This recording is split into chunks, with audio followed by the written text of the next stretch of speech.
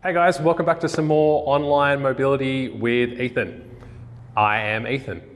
So, what we've got for you today is three sets of five different movements. So, I'm going to demo each of the five movements and then you're going to run through those five movements three times. First movement we've got today is something called a hip car. So, not hip car. Uh, CAR stands for controlled articulated rotations. With these, you have two options. The first option is to do these on all fours. So we come down, hands underneath the shoulders, and then knees underneath the hips. From here, what we're gonna do is we're gonna keep one knee bent at 90 degrees, and we're gonna send that leg straight up while trying to keep a nice neutral spine. And then here, we rotate the leg out, bring it around, and then come back to where we started. So again, we come up, rotate out, try to get a, as much of that movement to come from the hip. Try our best to not rotate the spine or turn the rib cage. So we're gonna go 10 in one direction and then we're gonna stay on that same side and then do 10 in the opposite direction. So you may find that one side or one direction is a little harder than the other, but that is perfectly normal. So again, the emphasis is on having as much of that movement to come from the hip.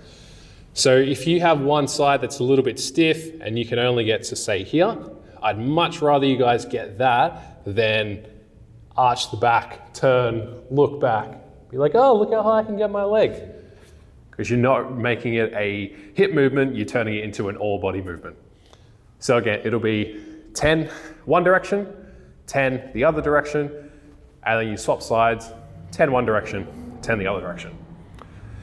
Second movement is a glute isometric hold. Oh wait, I didn't show you the second option. Uh, for the hip cars, your other option is to do it standing.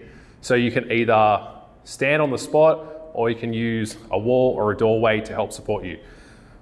Either way, it's going to be essentially the exact same movement. So if you look from the side, we'll keep one leg bent, we bring it back, we rotate the hip out, bring it around, and finish where we started.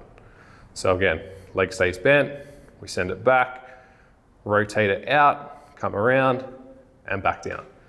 So the standing one will be a little bit more challenging because if you look from the front, as I send the leg back, everything's fine. Then as the leg comes out and around, my body wants to shift this direction to help lift that leg up. But I wanna try my best to keep my shoulders over my hip so that way the movement just comes from the hip. So you can also imagine that there's a little fence or a little gate that you're trying to step over. So if I go the opposite direction now, I come up, I step over the imaginary gate, swing it back around, and then drop it back down. So there are your two options. Now, back to the second movement, the glute isometric holds. So from here, we start on all fours, and then we're gonna send one leg straight out to the side. Then what we're doing from here is trying to keep that leg straight and lift that foot just slightly off the ground. So this will be a 20 to 30 second hold. Obviously, if you can hold closer to 30, you're doing well. If you can't hold for at least 20 seconds, then you can try and just bring the foot off the ground, lower it back down. Bring it back off, lower it back down. So demo the movement now. Hands under the shoulders, legs straight. We come up, hold, try my best to not shift my weight Again, I'm trying to keep my hips and shoulders square and facing straight down. So I'd hold here, ideally for 20 to 30 seconds. And if you can't hold for at least 20 seconds, I can go maybe a three second hold and rest. Come up again, another three second hold, rest. So just split it up however you like. 20 to 30 seconds on one side, 20 to 30 seconds on the other side. Third movement, is our 90-90s. So 90-90s because we have 90 degrees of knee flexion and we have roughly 90 degrees of hip flexion. So 90 knees, 90 hip. What we're going to do is really you actually have a lot of options here. The first one is to lean back, have your hands resting on the ground behind you. We come up, bring the trailing leg up, swap the legs over, and then finish in the exact same position on the other side. So then we come up, over, rotate the hip, and back down. Then to progress it and make it a little more challenging, you can go one hand. So bring that hip up, over, swap sides. Up, over, swap sides. Eventually, you might be able to do this with no hands. So we come up, bring that trailing leg over, and lower down to the ground. With these 90-90s, the more upright you stay, the more challenging it's gonna be on that hip. So if you can't stay upright in this, you feel like you just can't get that leg over, by all means, lean back. The further you lean back, the more open it's gonna make that hip and it's gonna make it a little easier. Now, if you can do these 90-90s, no worries. You actually have a few more, few more options to make it uh, more challenging. So what you could do from here is you'd come up. So we're trying to push our hips forward here, and then I'm gonna control down. Then as soon as my hips touch the ground, I swap sides, just like we did for our regular 90-90s, and then come up. So again, gonna open that hip. I'm getting a bit of a stretch through that groin, lower down with control, rotate over, and come up. So that's one option. Another option is to do that exact same thing as what I just did, except you're then adding another element. So that other element would be coming here, and then this front leg is gonna stay where it is. This trailing leg is gonna swing around, and I'm gonna be in the bottom of a lunge position. So we come swing around, lunge position here. Then coming back down, that's the tricky part. We come down, swing that leg around, try to control down, and then I swap sides. So I come over, open up the hips. Oh, there's a wall there. Bottom of the lunge, come back down, try to lower with control, and then again. So 90-90s, we'll be doing 20 in total. So it'll just be one, two, three, four, up to 20.